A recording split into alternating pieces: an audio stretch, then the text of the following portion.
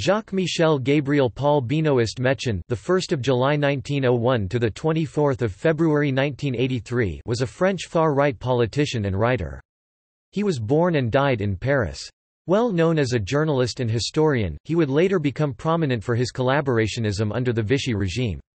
After being condemned in 1947 and released from prison in 1954, he became a specialist of the Arab world in the second part of his life.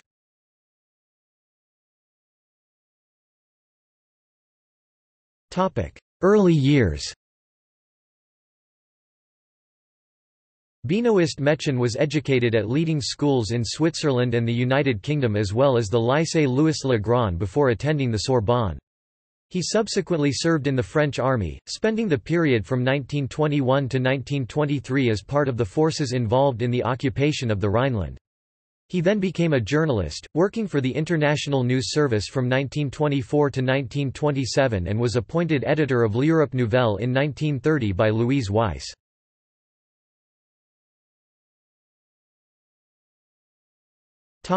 Political career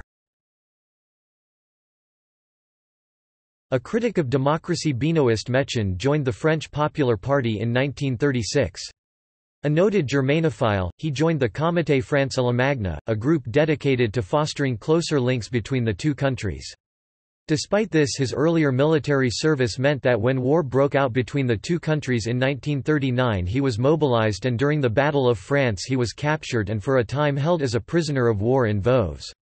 He was quickly freed however and served as chief of the POW's diplomatic mission to Berlin, aimed at securing the release of those held in Germany. In the main the Germanophile Benoist Mechin somewhat welcomed the German occupation of France during World War II.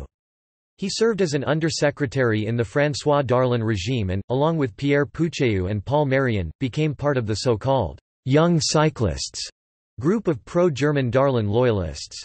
The 11th of May 1941, he accompanied Darlan to Berchtesgaden in order to negotiate military facilities in Syria for Germany with Hitler.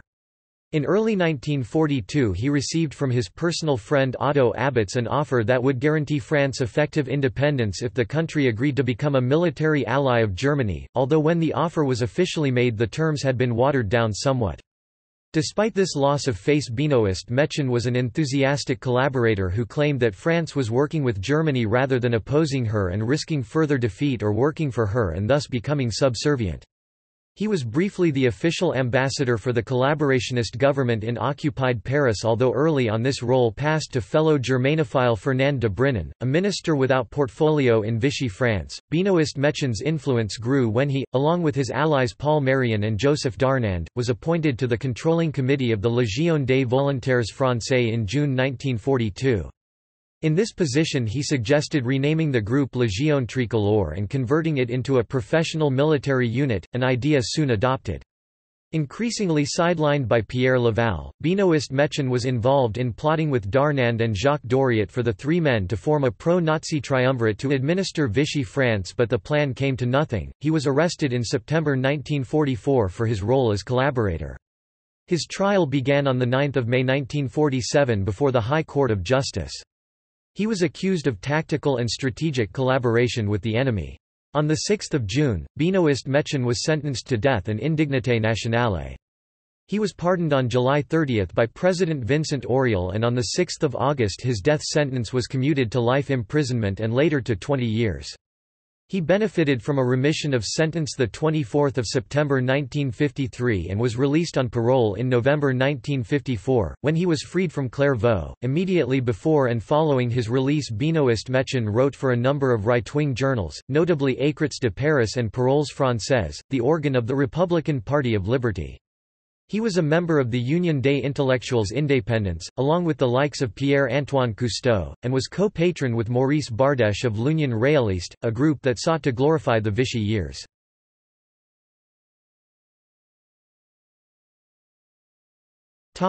Writing As a writer he produced a history of the German army in ten volumes whilst De la défaite au désastre, his Memoirs of the Collaboration Period, was published in 1984. His 1941 work Le Moisson de Quarante was an earlier memoir, specifically concerned with his time as a POW, whilst he would later write an interpretation of Adolf Hitler's Mein Kampf. Before the war he had been most noted as an Arabist and was a prominent admirer of Ibn Saud.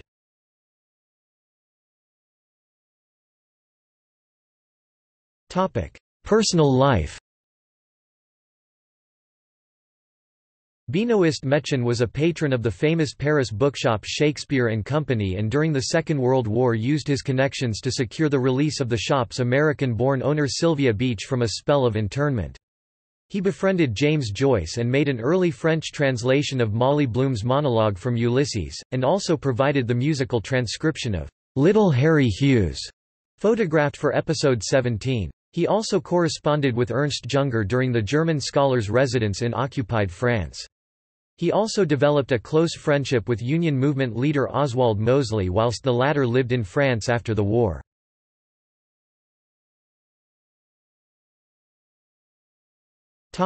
Publications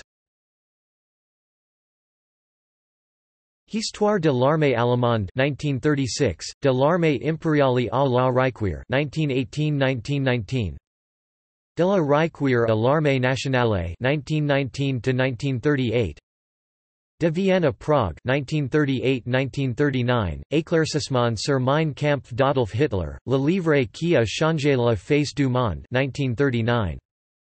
La Moisson de Quarante, Journal d'un prisonnier de guerre 1941. L'Ukraine, des origines à Staline Albin Michel, 1941. Ce qui demeure, Lettres de soldats tombés au champ d'honneur, 1914–1918 1942.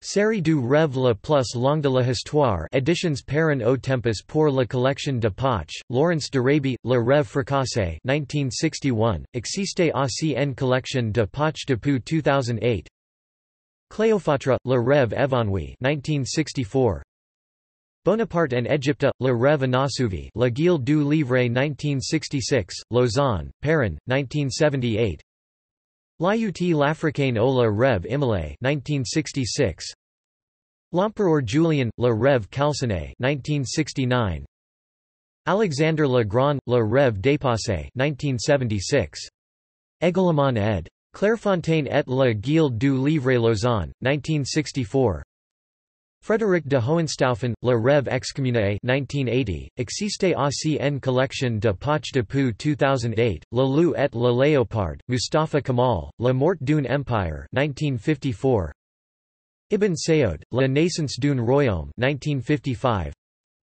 Le Roi Saud, Au l'Orient à l'heure des relèves 1960, Soit jour qui ébranleront l'Occident 1956, La bataille du Nord 10 mai 4 juin 1940, La bataille de France 4 juin 1940–25 juin 1940 La fin du régime 26 juin 1940–10 juillet 1940, Un printemps arabe 1959. Der étés africains 1972. A destins rompus 1974. Fayçal, Roy d'Arabie 1975. L'homme et ses jardins, les métamorphoses du paradis terrestre 1975. La musique et l'immortalité dans l'œuvre de Marcel Proust 1977. De la défaite au désastre 1984-1985, posthume. A l'épreuve du temps 1989-1993, posthume nouvelle édition revisitée N1 SEUL tome Peru en mai 2011 chez Perrin. Histoire des Alaouites 1994, posthume